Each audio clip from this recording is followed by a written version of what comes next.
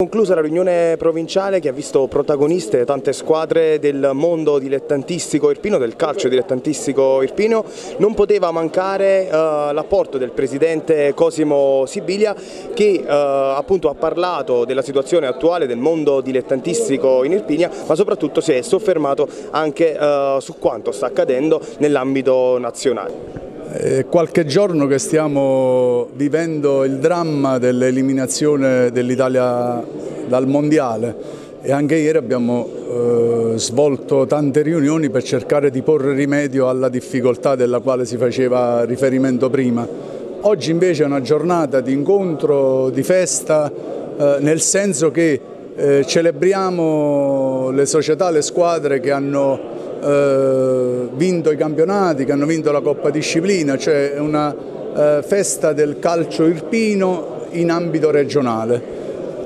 E ci avviamo poi a quella che sarà la consultazione elettorale quando ci saranno le elezioni e quindi il ritorno alla gestione ordinaria del Comitato. Presidente, uh, ritorniamo un po' sul palcoscenico nazionale dopo l'uscita di scena della nazionale italiana. Uh, secondo lei a cosa è dovuto questa, questa, specie di crisi e come si può uscirne? Io faccio una considerazione.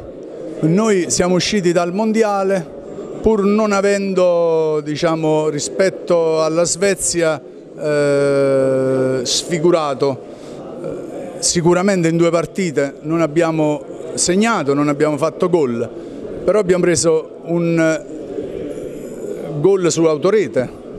Eh, più volte nella partita di ritorno siamo stati nell'area di rigore della Svezia, eh, però alla fine il risultato non c'è stato e questo è il punto vero della situazione. C'è da registrare, c'è da ripartire, aspettiamo che il Presidente della Federazione ci faccia avere il, il nuovo programma, le linee programmatiche per partire con questa ripartenza ehm, e quindi eh, lunedì ci sarà una pronuncia del Consiglio federale sulle questioni delle quali facevo riferimento.